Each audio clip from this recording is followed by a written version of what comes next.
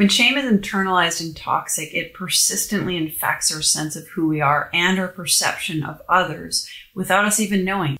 When shame lives in us chronically, as it does with toxic shame, whether we're aware of it or not, it creates chronic and intolerable feelings of disconnection, loneliness, and defectiveness. And we end up spending our lives trying to distract and numb ourselves from feeling it because it's just so intolerable.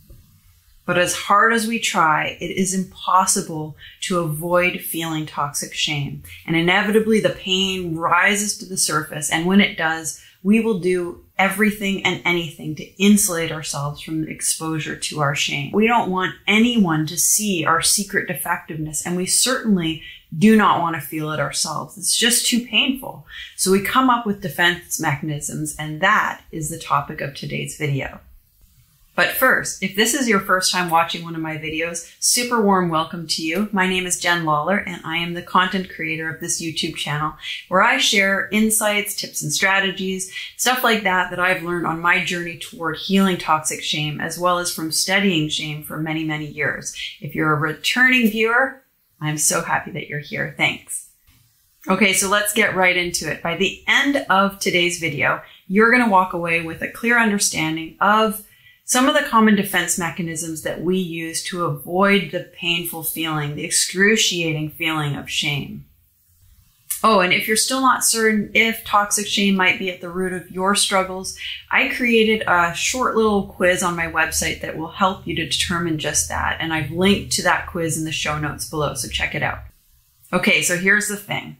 When shame lives in us in this unresolved state, as it does when we're toxically shamed, we can't feel it all the time and go on with our lives. It's just too crippling of an experience. So instead, we may scream in rage at another person, project blame and shame onto them, or hold them in contempt.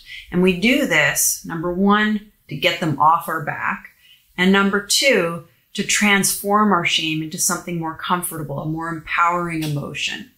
It's more comfortable to feel anger, to feel contempt, to put our shame on another person rather than have to bear the torturous feelings of brokenness inside ourselves. But here's the thing. While we're busy projecting our shame onto another, while that works to insulate us from feeling our shame, it, of course, it's going to hurt relationships and it creates more shame in this perpetual negative cycle. But here's the thing. While projecting shame onto another one works to insulate us from feeling our own shame, of course it hurts relationships. It creates more shame because on some level you recognize that what you're doing is unacceptable. And most importantly, it reinforces our commitment to the belief that we're inherently flawed. It's like we've taken one more highly emotionally charged run through the neural circuitry of shame, deepening the groove and driving shame a little deeper into us. Remember what Janet from the previous video in this series said? I always dump myself down, stay quiet, even when I know someone is wrong. That's an example of how the inner critic silences us. It's as if that critical voice inside is saying, I'll keep you in hiding so you don't do anything dumb to provoke an attack. It keeps us hiding what we believe to be our flawed, authentic self.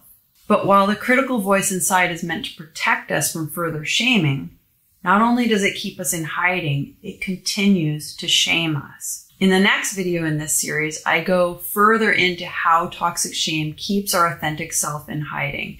You can find the link to that video up here as well as down below in the show notes. Okay, so that's what I've got for you here today. And I know it is a ton to take in. So, and just so you know, I've mentioned this before, but even talking about shame can be triggering for us. So if you're having painful feelings coming up, be sure to reach out. You can reach out to me in the comments below. I read every single one of the comments and I will answer you. Take care of yourself on this healing journey. It is a well worth it to pursue this path, but it is a challenging one. So take care of yourself as, while you're at it. Oh, and one more thing. Remember, I put together a short little toxic shame quiz to help you identify if toxic shame might be at the root of your suffering.